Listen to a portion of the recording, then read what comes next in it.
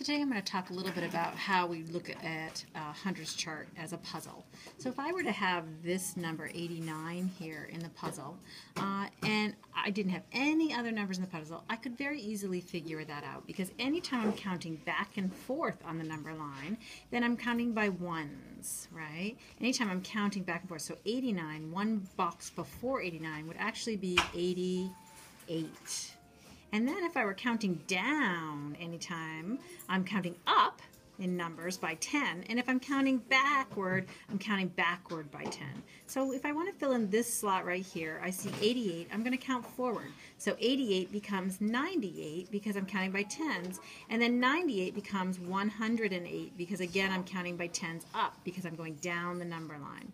If I look over here, I have to try to figure out this box. Well, there's nothing in this box, but I can imagine that because I'm counting this way, I'm counting by ones, I'm going to go up because I'm counting this this direction. So I'm going to go 98, 99, this would be 100. And then I know I'm counting by ones again, so what comes after 100? 101.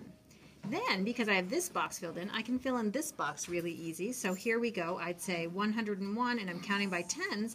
So now it would be 111 for this next number.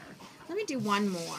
If we were going to look at these boxes here, and I started out with this number, remember that when I'm going up and down, I'm counting by tens, right? So here we go. I'm going to go up this time. If I'm going up, I'm going backwards, right? So it's not going to be 32. I'm going backwards, it's going to be 22. And if I go back again, up, backwards again, it goes up and the numbers get smaller. So it's not 22, it's 12. And then if I go back down, we go from 32, I'm going back down, the numbers are getting bigger, so I'm going to count again up. So 32 becomes 42 because I'm counting by tens when I go up and down like this. If I go across this way and I go to the number before this one because I'm going backwards, so the number before 42 is 41. And then if I go here to 12, the number before 12 is 11. Because I'm going this way, I'm counting by ones. When I'm going this way, I'm counting by tens.